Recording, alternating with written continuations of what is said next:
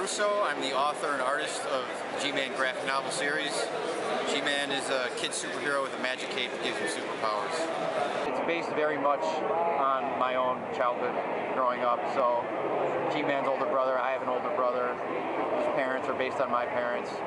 Um, and really seem to like the, the sibling rivalry dynamic of it. When I was a kid, my mom used to take us to the library. It would be like uh, uh, you know weekend routines. We'd go there usually on Saturday, and check out books, and then you know she was big on pushing reading, and it, it was just a normal thing. So I always checked out all the, the Peanuts comic book, uh, comic strip collections, and I was really into newspaper comic strips back then. And then I transitioned into superhero stuff. The work I do now is like a hybrid of both of those things.